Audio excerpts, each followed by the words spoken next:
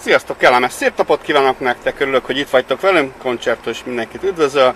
Tartsatok velünk, nézzétek meg ezt a, az új szerzeményünket, egy Lancia Muzsát, még hozzá egy négyes benzines jármű, ami 77 lóerőt bír nekünk teljesíteni. 2007 és 9. havi, ezt a szervizkönyvéből olvasgattam ki, ami itt van mellettem. Van két gyári kulcsa az autónknak, és tök jó, mert támaszkodok rajta, nagyon jó kis könyök támaszok vannak két oldalra mindenkinek.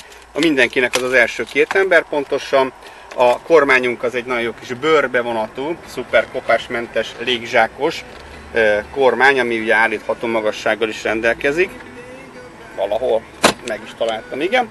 Itt lent van az állítója. Indítsuk be, nézzük meg, hogy hogy indul. Először is látható, hogy nem állítottam be az órát és az is, hogy 153 ezer, 178-at futott, aztán ugye gyújtásra tesszük, ugye van itt ABS, City Servo, olajnyomás, töltésjelző, légzsákok, minden szépen ugye ki is aludt, mint az, hogy az látszódik. Ugye tankolnom kéne bekötni magam, meg az ajtót becsukni, ugye, és még a kézifékünk is be van ugye húzva. Így igaz.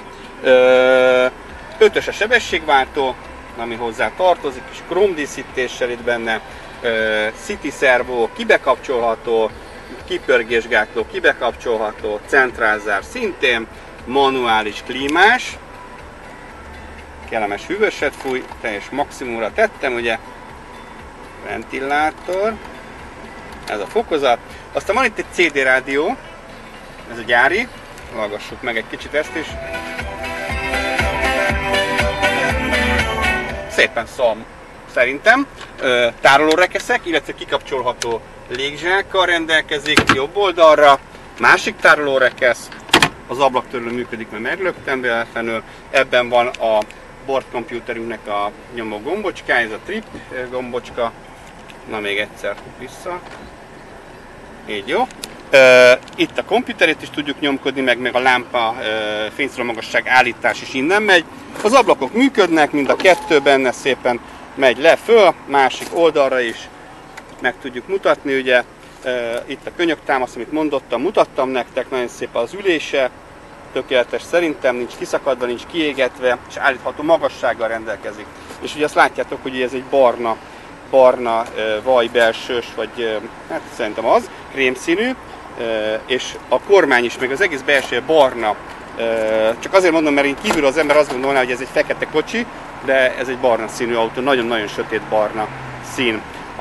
Az autó jó állapotú gumikat fogtok találni, egyforma fajta és minőségű gumit, és itt a hátuljában pedig, remélhetem a kollégák segítettek és betették ide nekem a csomagtartóba, amit megkértem, hogy beletegyenek. Így igaz, látjátok itt van velem Feri és Peti kollégám, szépen de begurigatták a másik szett gumit a kocsiba.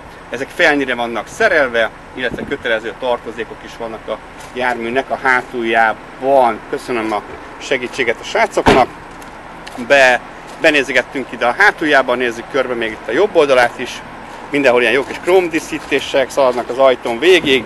Tökéletes üvegezés, gyári zöld színű, lámpái is szép tiszták, és nézzük mi, mi rejlik a mogorva díszrács alatt. Itt van az 1.4-es benzinmotorunk. Nagyon csendesen megy. Jó az aksi az autóban.